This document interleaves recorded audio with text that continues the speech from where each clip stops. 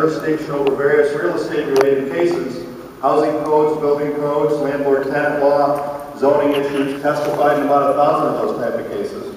I also was the administrator of the court and managed the budget for that particular court, 40 employees, $2 million annual budget, each year approved by a local legislative body, and I never went over budget, not even by one penny. That's important to take care of taxpayers' money.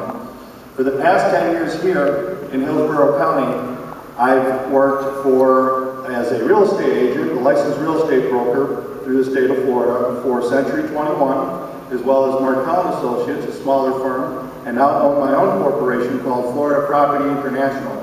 I've closed millions of dollars in transactions, including apartment buildings, retail strips, uh, small offices, hotel condominiums, and uh, a whole slew of uh, residential properties, of course.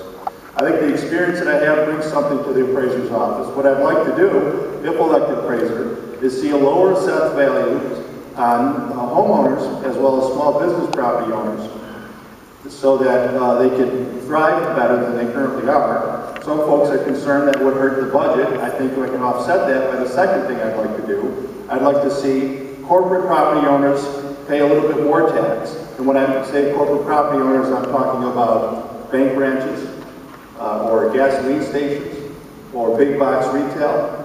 Uh, I want to thank you uh, most of all for doing this this evening. I wish every church would do this. It's a great way to get voters in contact with their uh, potential elected leaders. I very much thank you for your time. James DeMio from Property Appraiser.